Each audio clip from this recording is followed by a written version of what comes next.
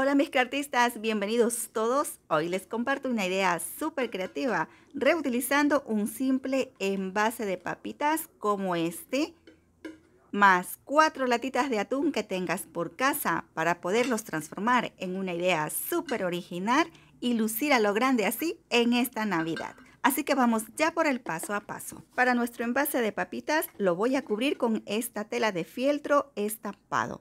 Así que utilizo silicona fría de esta manera esparciéndola bien por todo nuestro envase.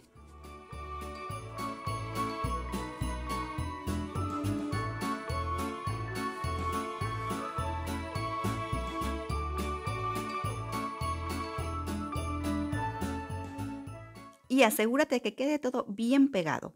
Sello la unión de la tela con silicona caliente para acelerar el proceso.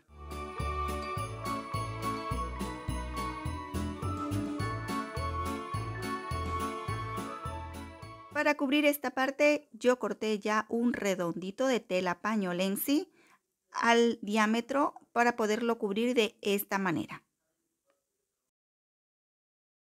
Y con un retazo de esta tela pañolensi, como está, voy a crearle algunas ondas así como que si fueran gotitas. Esto será las lágrimas de nuestra velita, así que quédate hasta el final para que puedas ver todo este detalle completo recortamos todo el contorno y ya nos quedó así. Esta la vamos a colocar aquí con silicón caliente, pegándola desde esta parte así, tratando muy bien de unir esta parte de aquí así para que ya nos dé un mejor acabado. Y lo pegaremos todo al contorno. Termino de pegar las lágrimas con silicón caliente.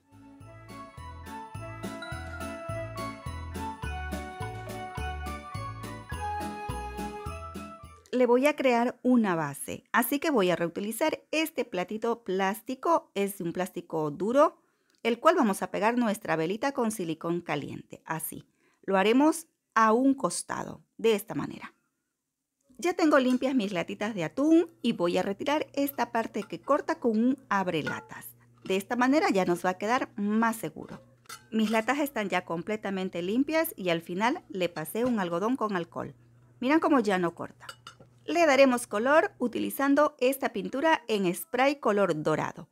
Así que le damos este bello tono y mira qué precioso ya nos está quedando. Decoro con esta cinta de bolitas así, pero tú puedes utilizar lo que tengas disponible en tu hogar.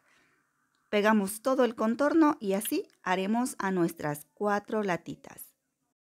Para reforzar la base voy a utilizar un cordón dorado. Esto nos va a apoyar aún mejor y va a disimular bien esta parte. Así que pegamos así y así ya nos quedó. Utilizo fieltro para poder crear la llama de nuestra vela y yo recorté dos piezas amarillas del mismo tamaño y esta naranja para poderle dar un mejor detalle.